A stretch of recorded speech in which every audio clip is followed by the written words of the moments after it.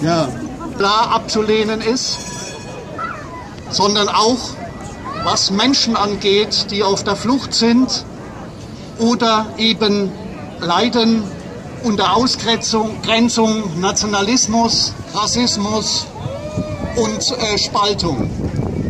Äh, wir erleben leider, dass auch in äh, den Unterkünften von Flüchtlingen, die jetzt untergebracht sind oder in äh, den Situationen Menschen gegeneinander ausgespielt werden. Das müssen wir klar ablehnen.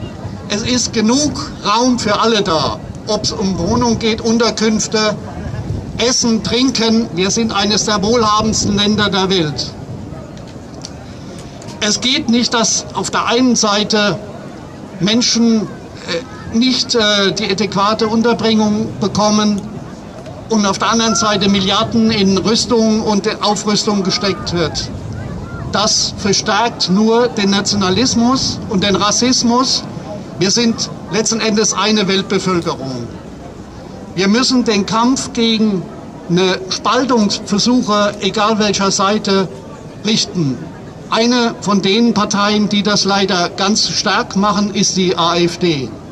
Die Alternative für Deutschland, ihre Äußerungen jetzt gerade in der jetzigen aktuellen Situation sind sich nur zu moralisch abzulehnen, sondern bedeuten genau das Problem, nämlich Rassismus. Rassismus gegenüber Menschen, wo unterschieden wird nach Hautfarbe, Aussehen, Herkunft. Das kann nicht sein.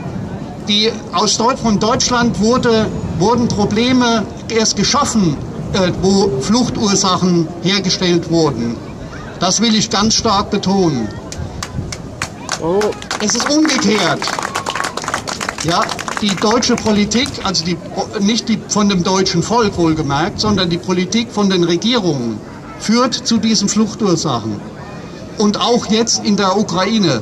Es hat, äh, es hat eine NATO-Einkreisung von den Ländern in der Ukraine gegeben, um die Ukraine herum. Es wurde aufgerüstet.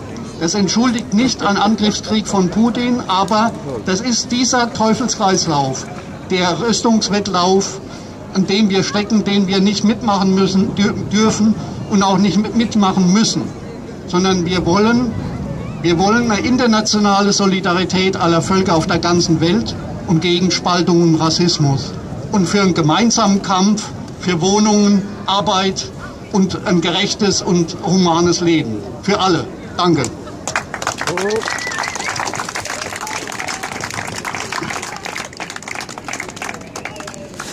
Vielen Dank, Ewald. Als nächste Rednerin kündige ich Margarete an vom AK Kolonialgeschichte.